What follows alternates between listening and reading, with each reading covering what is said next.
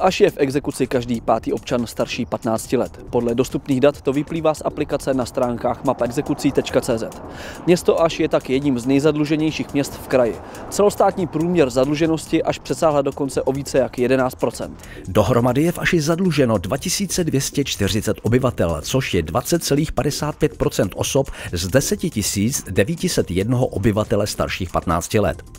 To je nejvyšší číslo nejen z obcí na Ašsku, ale také všech obcí na Chebsku. Celková částka, kterou exekutoři v Aši vymáhají, je 582 milionů korun. Na jednu z 10 767 exekucí tak v průměru připadá dluh ve výši zhruba 54 tisíc korun. V průměru má jeden ašský dlužník téměř pět exekucí.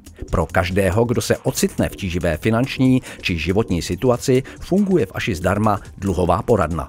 Dluhová poradna v Aši funguje eh, jednou za 14 dní ve čtvrtek. Jsou to vždycky čtvrtky z pravidla druhé v měsíci a čtvrté měsíci. A jsme tady od 10.30 do 14 hodin. Eh, najdou nás v budově Městského úřadu v Aši ve čtvrtém patře. Eh, je to kancelář odboru sociálních věcí. A jinak na nás kontakty jsou uvedeny na webu. My jsme poskytovatelé registrovaných sociálních služeb a mimo jiné máme registrované odborné sociální poradenství. Jeho součást je i tedy občanská poradna a jinak jsme členy Asociace občanských poraden České republiky. Nabízíme poradenství v oblasti zejména právního poradenství, dluhového poradenství, což je dneska velice akcentováno, a dalšího obecně poradenství eh, v oblastech, které lidi potřebují nějakým způsobem řešit a neví jak, neznají to a veškeré naše služby poskytujeme zdarma.